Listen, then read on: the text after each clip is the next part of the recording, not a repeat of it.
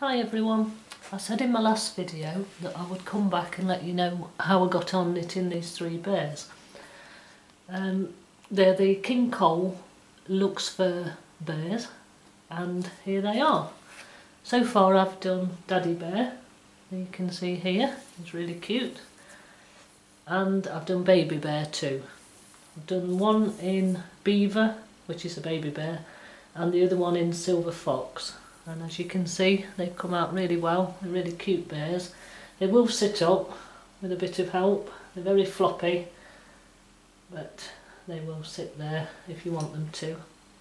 Now a few tips that I'd like to share if you're going to knit these bears. Uh, I'm just working on mummy bear at the moment. Um, and a few things that I've found is it is worth marking the ends of the cast on row. Now um, you start off with only 14 stitches but you very quickly get up to about 56 so when you come uh, on a lot of pieces you have to gather the cast on row and it is quite difficult. You can find the start of it with the yarn but the other end can be quite difficult to find among all the fur. So what I do as I begin I mark the end of the cast on row with one of these stitch markers which I find really useful because then I can quickly and easily gather that up. Uh, these little stitch markers come in packs of different sizes, different colours and I find them really useful for marking uh, row ends and, uh, and other things. Um, again, the, um, the right and wrong side of the knitting is quite hard to find out because it's very difficult to get among the fur and just see which side you're working on.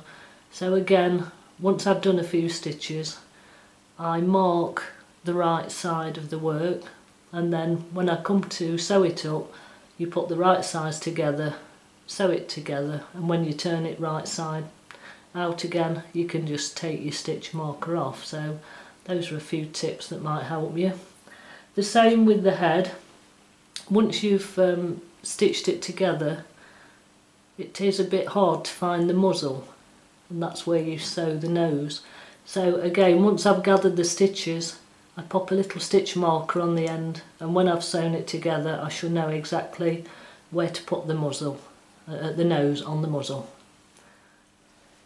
It's the same with the ears. Again, it's a bit hard among all the fur to find out which is the top, the bottom or the sides uh, when you make them up you sew the cast on and the cast off edges together so when I've done that I just mark them with a stitch marker and then I know that that will be the edge that is sewn to the head of the teddy bear as I make them up. So I hope you enjoy making the bears, I really have enjoyed it and uh, if you'd like to share a picture of your bear I'd be more than happy to see it.